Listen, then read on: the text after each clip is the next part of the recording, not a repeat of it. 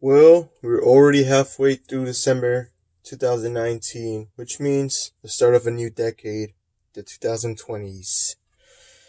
And so this video is going to be a re- retrospective of my top 10 figures of the 2000s dec- 2010s decade. So yeah, um, each time I'll, before I show figure, each time I'll talk about a year before we get to 2019. So, yeah, before we get to 2000, 2010, no, before we get to the first figure of the top 10 list of the decade, uh, the number, the number 10 spot, um, we talk about 2010. So 2010, 2010 was a good time. We got, uh, Hunt for the Decepticons, I think. Uh, that was his, uh, that was a subline of the Revenge of the Fallen line. And this mixed in, this mixed in the generations with the movie line. So we got the Hunt for Decepticons and Reveal the Shield at the same time. So that was a good part. Um, Reveal the Shield was really one of my favorite lines of the time. Cause I really didn't know who the characters were. Jazz, obviously I knew it was an Autobot, so was Bumblebee and Optimus Prime. But the other characters I really did not know about. I did know Lugnut from the animated movie, uh, animated show, so I knew he was a Decepticon. But other than that, I did not know much of the other characters. So when I when I got them and I wrote the the emblems on them, I was very surprised. That was a pretty cool, unique gimmick that will no longer be. Uh, no, they will no longer do that gimmick, unfortunately, because I guess they didn't sell that well and kind of stupid gimmick looking back at it, it's just stickers. So, yeah, so the number 10 of the decade figure is a figure from Titan's Return. Titan's Return was a good line. I'll talk about that later. So this figure is, or figures are the Voyager mold. So here is uh, Octane and Optimus Prime. I really like this mold. This is one of my favorite Voyager molds of this entire line. Um, this mold, I don't know. I really like this mold out of all the Titans Return figures. But yeah, this this figure is pretty cool. The trailer truck mold right here is pretty cool. The tanker um doesn't turn. The cab doesn't turn. Unfortunately, but that's okay because it's supposed to be a triple changer. So uh, it's uh, it's excusable. So yeah. Um, and then the robot mode itself, it's pretty cool. I really like the the proportions of it and the jet mode I, it's kind of okay but yeah it's a it's a jet mode um so yeah. Um the headmaster itself this is the same design. Let me see if i can pop this guy out right here. Jersey right here. It's the same design for all three of them. Um is this little guy right here. Pretty cool design. I really like that octane's headmaster better because he's just all white but yeah, they, they use the same headmaster mold, except for the face, so that's obviously different. And yeah, so here is the figures. Here are the figures. So yeah, let's go to number nine. So, so number nine. So in 2011, we got the third and probably should have been the final movie of the franchise, Dark of the Moon. It had a pretty cool ending. Um, designs of them are really cool. I really like the Jetwing Prime. I really, I recently got the Dark of the Moon version for the Studio Series one. And the Shockwave looked pretty cool. Shockwave looked pretty interesting. Um, definitely not G1 accurate, but they still have the one eye in the cannon, even though I think it was on the wrong side of the cannon. I don't know, I might be wrong on that. I think I am wrong on that, but yeah. Uh, Soundwave was pretty cool. Mercedes car and Megatron being the truck now is a pretty cool, interesting idea. I really like that idea. So, yeah, enough rambling. Um, what did I say came out in 2010? Yeah, I was meant to say Prime came out in 2010. I don't know if I said that, but yeah. So the next figure of this of the top 10 list is Abominus right here. He's a pretty cool uh combiner. He's my favorite combiner figure. Um yeah, he, out of all the combiners, I really like that this figure. Um, I don't know, just the combiners feel the same. They have the same type of limbs, but yeah, after they kept reusing that Superion chest mold, I it's kind of been the same and same. Um, they're doing that same thing with the Seacons. So yeah, I don't know. I'm probably not gonna get the Seacons since they're Hasbro Pulse exclusive, and there's only a limited time you could get them, and I really missed out on that line. So yeah, this is a pretty cool figure. Uh, you should get it. It's probably the best combiner so far. Um, yeah, better than the Menasor figure. Anything, any combiner is better than the Menasor figure, to be honest. So yeah, let's go back to number 10, number 8. So in 2012, we got um the Fall of Cybertron game. That game was pretty interesting. Um, it gave us a little subline for the of Cybertron characters in the Generations line. We got Jazz, Sideswipe, the Combaticons, Grimlock, Sound Blaster, Bla- uh, Blaster, and Soundwave. And we also got a new Prime mode. Um, other than that, that's pretty much it. And we also got the Seeker mode. Um, yeah, that's pretty much it for what we got for that line. Um, other than that, we didn't get anything new that year. So, yeah, um, that game was pretty cool. So let's go to number eight, top 10, number eight figure. This figure is gonna be controversial, but I really like this figure. That is the Transformers Last Knight Hot Rod. I really like this design of Hot Rod. This is a unique take on Hot Rod. Um, yeah, it's a pretty cool design. I really like the robot mode in the movie. Um, the figure doesn't trans translate that well from the screen, but I really like the Lamborghini mode. So yeah, that really gives it a, a boost up in the list. So yeah, and yeah, the the design's pretty cool. Um, black and red are pretty cool. So yeah, um, I wish another we could get another Hot Rod movie. Hot Rod, yeah, we are getting that uh World War II Hot Rod. I do plan on getting that figure.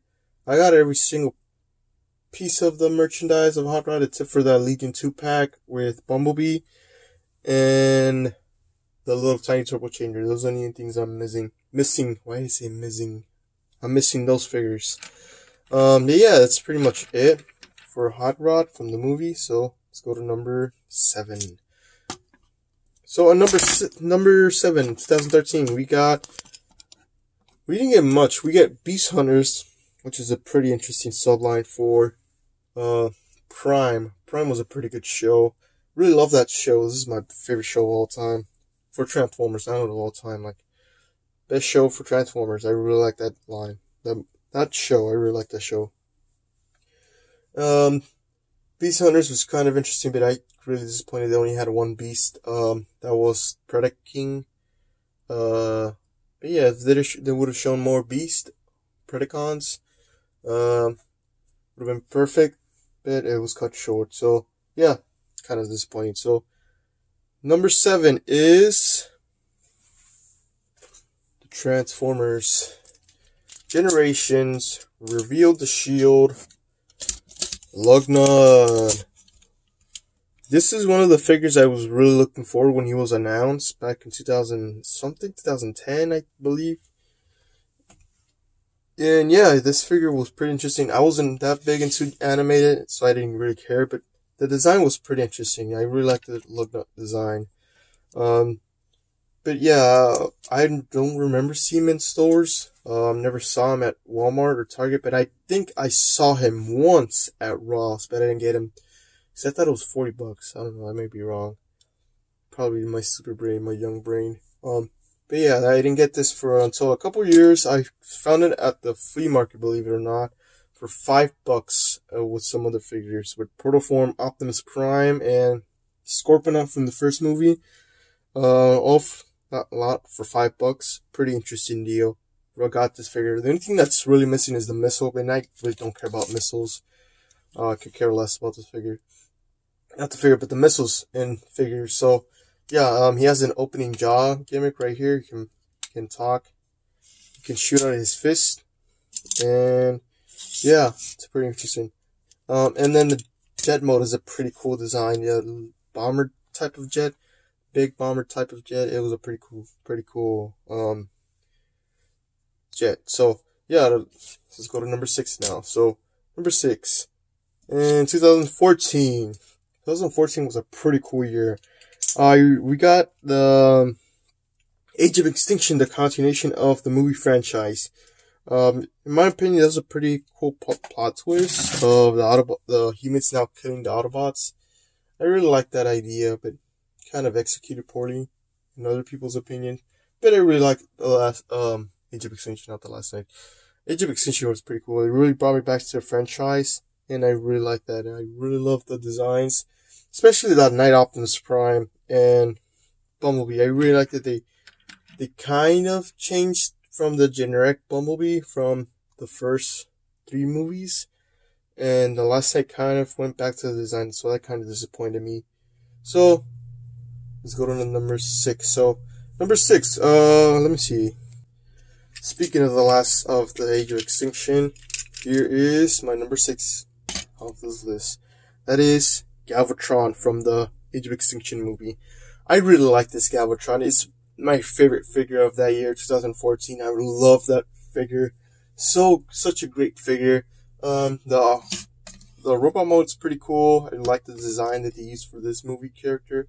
Um, and then the truck mode is pretty cool. I really like that truck mode. Hopefully we get a Series one because mine broke and uh, I don't know if I want to buy one. I don't know if I want to risk buying another one and then get another uh, figure come out in Series because I'm desperate desperately enough to buy another figure. Probably just gonna take off the the backpack and keep that other one in truck mode since he technically didn't transform. He did he did that morphing thing, the KSI morphing thing, whatever it's called.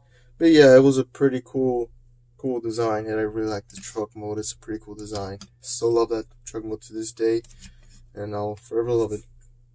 So let's go to number five. I believe we're number five. So number five in 2015. We got Robots in Disguise 2015 and Combiner Wars. Combiner Wars is a pretty cool line. Um, I didn't get much of the first few waves. I did complete wave two, and that was Menasor. That was my first combiner, but kind of disappointed because that was the, the most terrible Combiner Wars figure so far. Um, yeah, this is the only terrible figure. That and that Optimus repaint.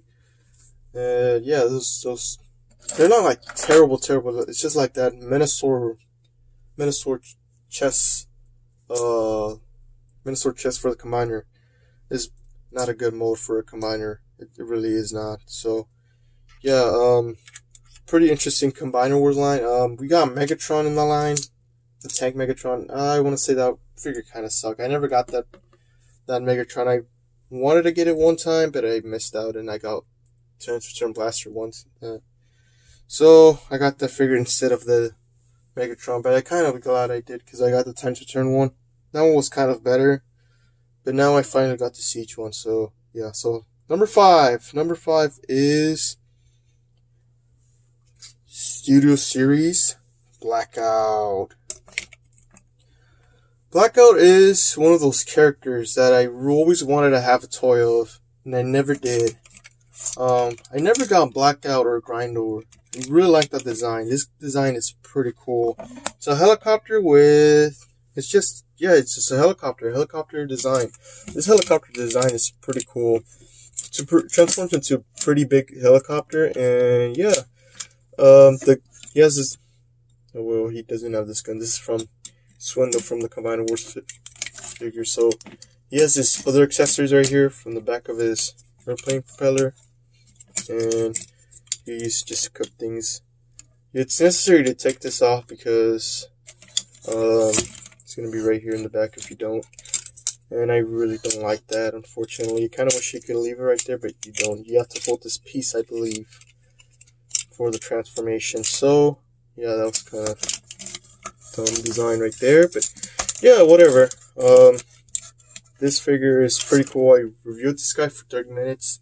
30 minute review. Pretty big helicopter. Biggest helicopter I've seen so far. I want to get the Wei Jiang figure because I want to re repurpose that figure as the Grindor from the Revenge of the Fallen. If this is a pretty good figure. Probably going to get another Blackout. Or is, is Blackout still available? I don't I don't even know if Blackout's still available for for sale at Walmart or Target. Target. Those are the two main stores. So yeah.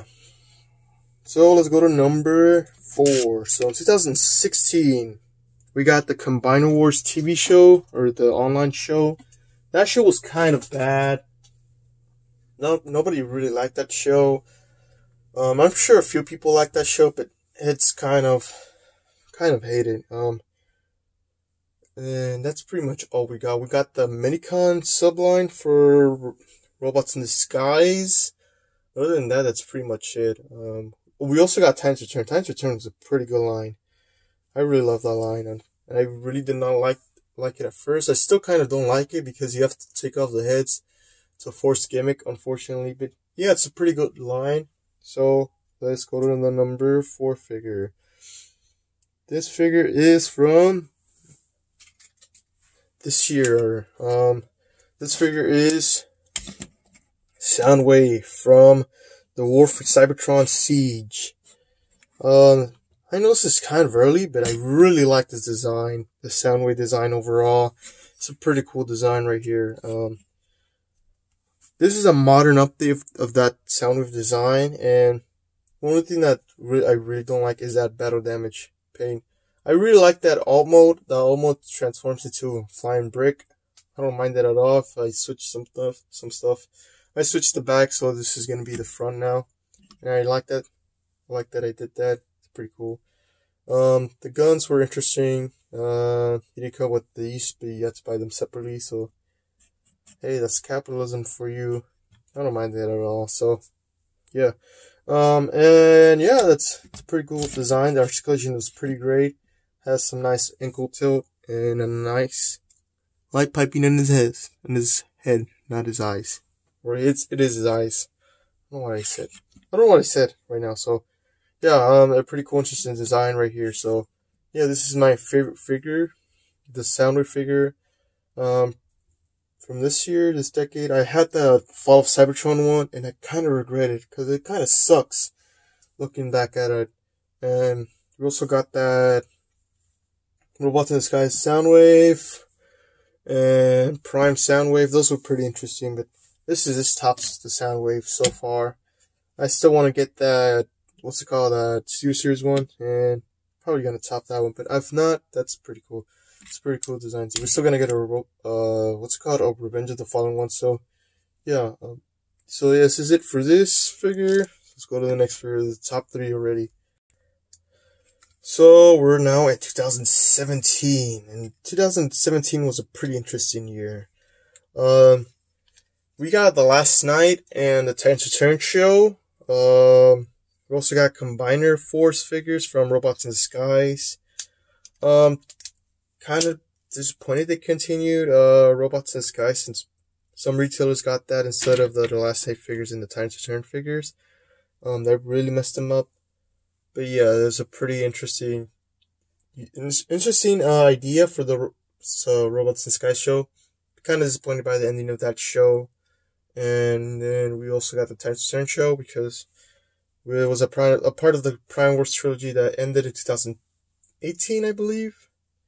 And then the last knight, I really liked the last knight. The last knight was a pretty cool movie, in my opinion. I like that movie.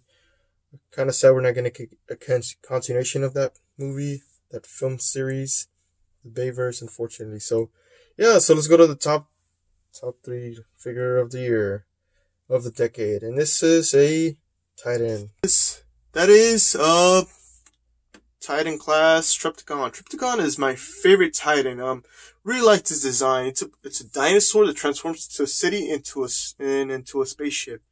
Um, Fortune's Matches, Maximus did that too. And I believe Metroplex did that too, but I don't have Metroplex. And Maximus transforms into a robot. And that's not very interesting for a very tall robot. But this is a dinosaur, and a dinosaur is more interesting than a robot. So, yeah, um, pretty cool design. The coloring on him is pretty cool. I voted for him back in 2015, I want to say, or 2016. I don't know, but I voted for him, and I'm glad I did because I got this figure now. But if they would have told us it was a Headmaster gimmick, I would have voted for Scorponok.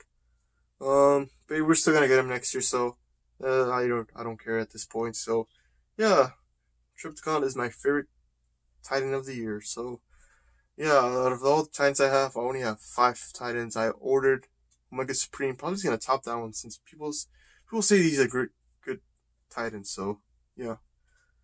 So let's go back down to the number two figure. So we're now at 2018. In 2018, we got Cyberverse the show. Cyberverse is a pretty interesting show. Kind of started off in a kind of bad show. It was kind of bad at the first few episodes, but then it got good. But yeah, it was a pretty interesting show. Um, we got a season two already, so I already watched that entire series so far. I just can't wait for the other season of that show. So be interesting to see what happens next to the story. So, anyways, we got Bumblebee the movie two. Bumblebee was a pretty interesting movie. It turned turned around what Michael Bay did. Um, Travis Knight made Bumblebee into a Volkswagen Beetle and Optimus into the original G1 design, and some other characters into the G1 other design. Basically, mostly all of them were G1 accurate. So yeah, except for Blitzwing. Blitzwing was, I guess, a throwaway character. Well, I wonder what they call a triple changer that turns into a tank and a jet in that continuity. So just so call it Starscream. Uh, actually, there's already Starscream. Never mind. Um. So yeah, this so this figure this year or this this list is number two is the figure from the number two list is you can't even see him. Combiner Wars Ultra Magnus. I really like Ultra Magnus if you didn't know. Ultra Magnus is a pretty cool design. He's basically Optimus Prime, but with armor. That's why I like him. I would have put um, the War for Cybertron one, but he's a little bit too blocky for me. Um, this one has some nice IDW design. I believe it's IDW, I think. Might be wrong. I never read the comic book, but yeah, this is pretty cool design. And yeah, and I chose that one because it's based off that Robots in Disguise alt mode, and I don't like that Robots in Disguise anime. So yeah, it's pretty cool. I really like Ultra Magnus if I didn't say that earlier. I really liked him after watching Prime. It's a pretty cool, interesting character. So yeah, this guy, this guy comes with two accessories, two weapons, and then these two missile pods right here. So it comes with four accessories, and then one chest guy. Minimus Ambus. I won't say his name, but I took him off. Yeah, this is my favorite Ultra Magnus figure of the decade.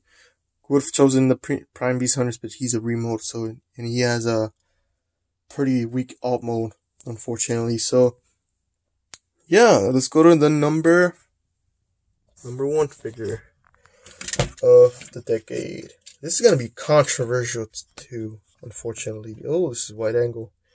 Go back. Here we go. Um, this is to be controversial too. So in 2019, we didn't get much this year. We got Siege. Siege was a pretty cool, this pretty cool line. It's a pretty cool line, but I don't like that battle damage on those figures. And we also got continuation of Studio Series. Oh yeah, I forgot to mention Studio Series came out in 2018. Kind of felt like that line, that line was only made for the Bumblebee movie, but after the success of that first few waves, they continued it. So yeah, it's still going strong. Still seeing some new leaders. Um, can't wait for the wave nine, wave eight figures. Um, the next one with the B- Bumblebees, or Sea Sisters, and Soundwave. I still need to finish wave seven, I believe. I still need to finish that one. Still need to get Starscream from the Revenge of the Fallen. Uh, Bumblebee Studio Series 15. Uh, who else am I missing? KSI Boss and Long Haul. Those are the ones I was going to say earlier. Those are the only ones I'm missing so far. Yeah, those are the only figures I'm missing. So I'm missing like five figures, four figures. So yeah. Um. So let's go to the number one figure of the decade. This is gonna be controversial, and I know it. And I know it. And that figure is. Drum roll, drum roll. Okay, so I'm gonna do some honorable mentions.